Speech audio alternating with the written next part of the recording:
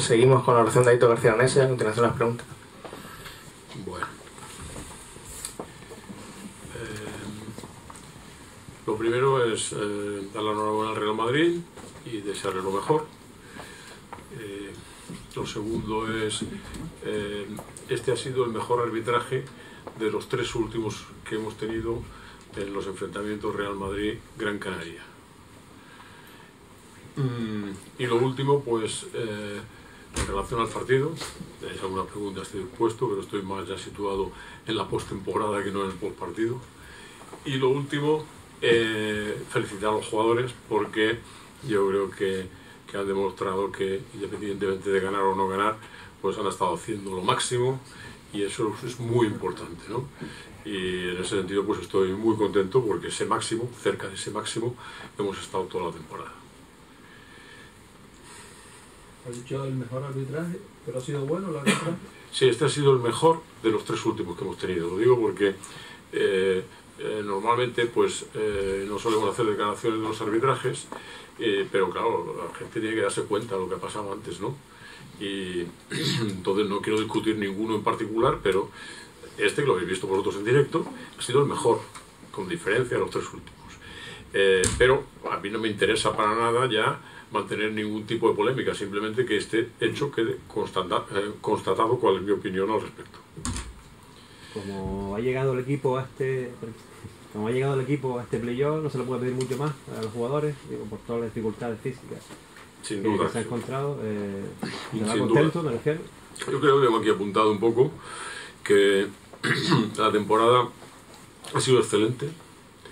Creo que, mm, bueno, al principio cuando yo entraba, pues tenía mm, poco de temor con dos cosas.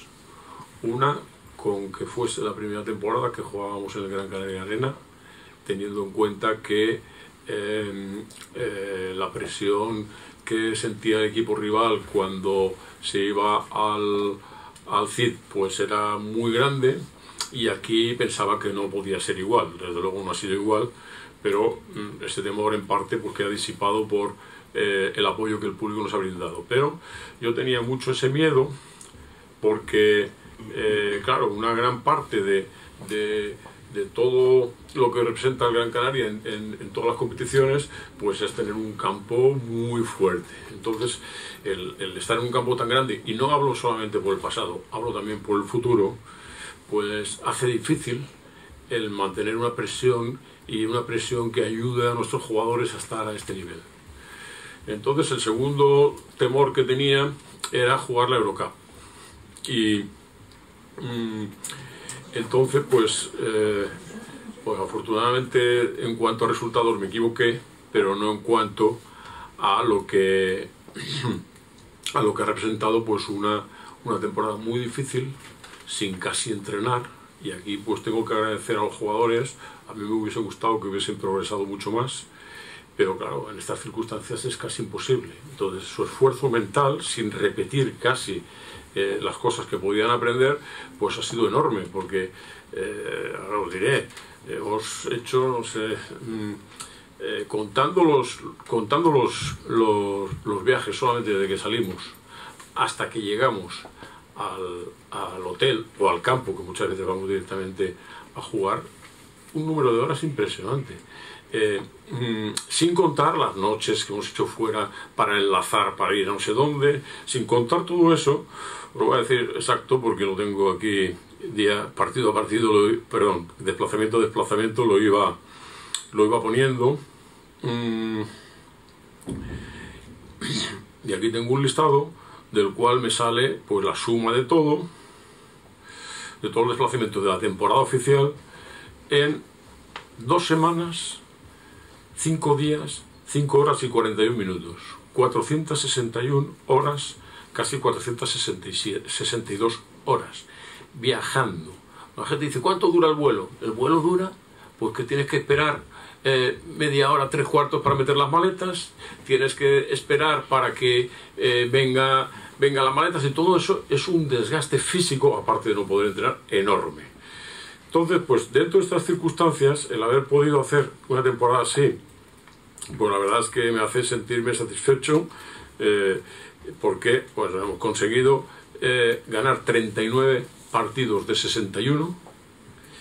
Hemos llegado a la final de la Copa, a final de, a la fase final de la Copa, a la fase final del, de la Liga CB y, y hemos, ganado- hemos jugado la, la final de la Eurocup, eliminando pues, a grandes equipos.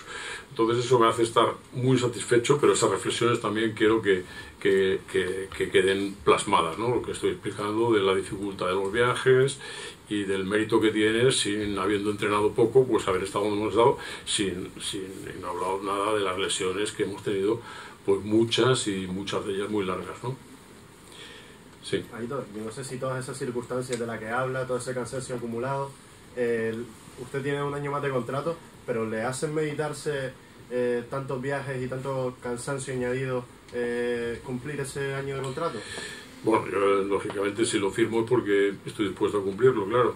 Y todo esto pues lo, lo explico en el club y yo doy mi opinión y al final es el club, lógicamente, el que toma las decisiones y que yo respeto, como en este caso que ni siquiera mencioné nada antes de empezar, pero ya estaba ahí expuesto. Mm, y luego, claro, si hubiésemos sabido cuando yo decía todo eso, que podíamos ser subcampeón de la, de la Eurocup, eh, eh, siguiendo con lo que ha hecho Gran Canaria otros años, que es clasificarse al playoff, clasificarse a la Copa, eh, y que íbamos a ser capaces de eliminar a uno de los mejores equipos italianos, al mejor equipo croata, a uno de los mejores equipos, o a dos, eh, turcos, a un equipo de arriba ruso también, pues realmente pues dice, bueno, pues todo ese esfuerzo ha valido la pena, ¿no?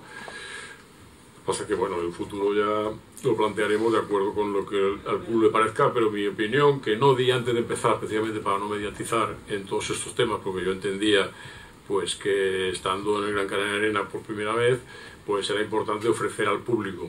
Pero esto es un poco peligroso de cara al futuro porque tenemos que ser conscientes de dónde estamos. Estamos muy lejos.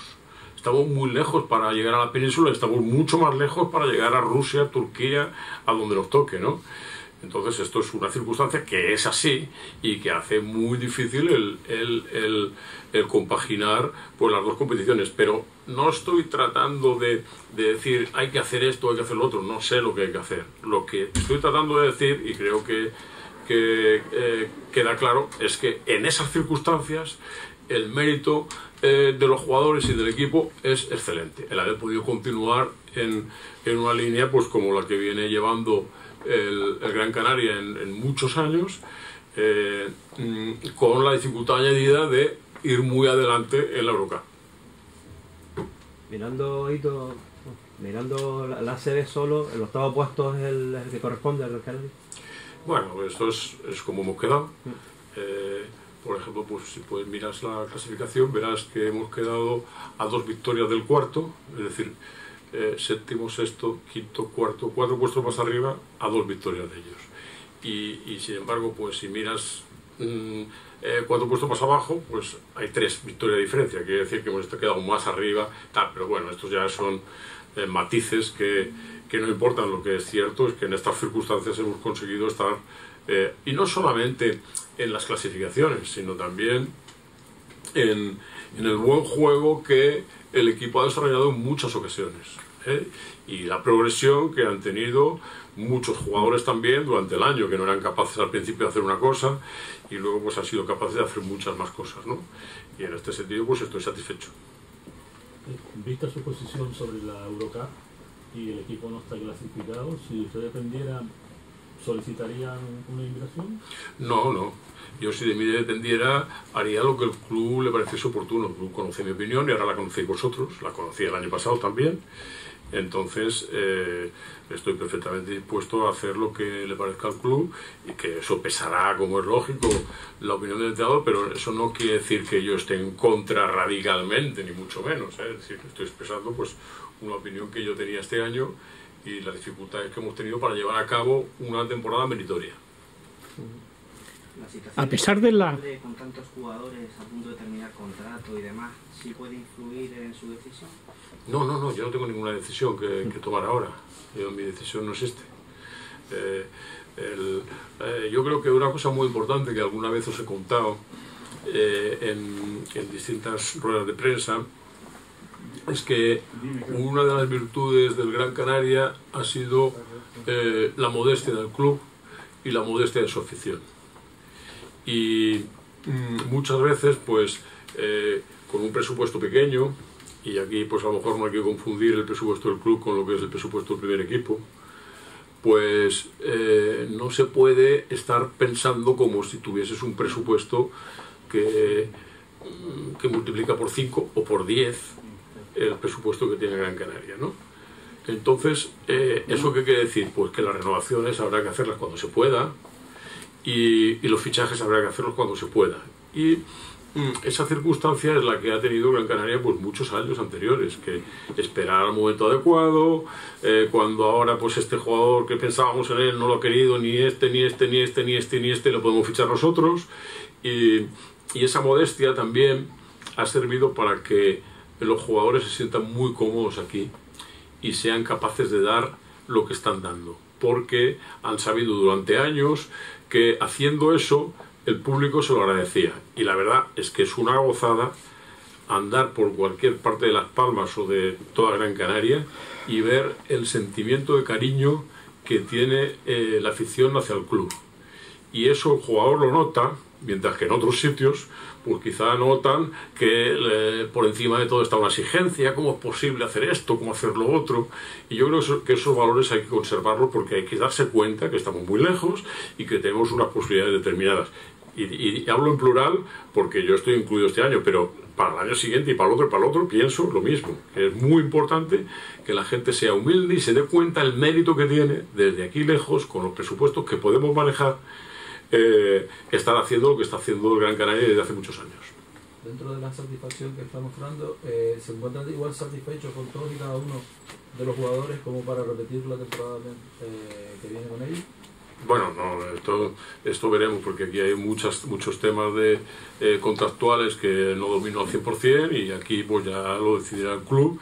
Y mm, una cosa es también la actitud que puedan tener y otra cosa es ver si es conveniente en función de muchas cosas, pues el que continúen a según qué precio o que no continúen y pueda entrar alguien mal. Pero en ese sentido también tengo que decir que mm, los jugadores que se han incorporado pues han tenido eh, también pues independientemente de que hayan jugado un poco mejor o un poco peor pero su integración en el equipo ha sido eh, formidable eh, y eso pues se debe también pues al que hay un buen ambiente en el vestuario y que los jugadores son capaces de, de acoger pues tanto a Sasu como a Alex como últimamente a Luca con menos tiempo y, mm, el futuro ya se verá, no, no tengo nada pensado, ¿no?